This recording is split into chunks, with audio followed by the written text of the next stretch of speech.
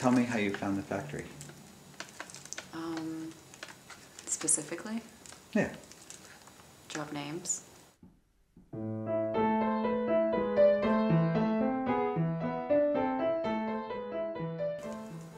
Well, I, I, I did see the place before I heard about it and thought that it would be a great place for what's happening now. And I think a lot of different artists thought the same thing. I met you the day you came down to sign, or to, Yeah. you know, what were you?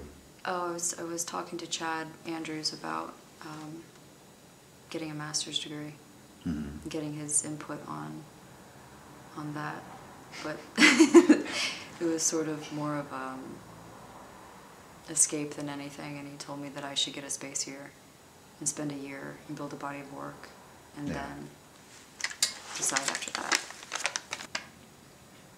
There's a the energy about the place is, is sort of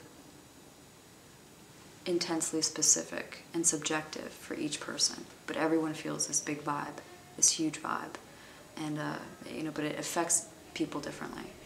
And my take on it was more um,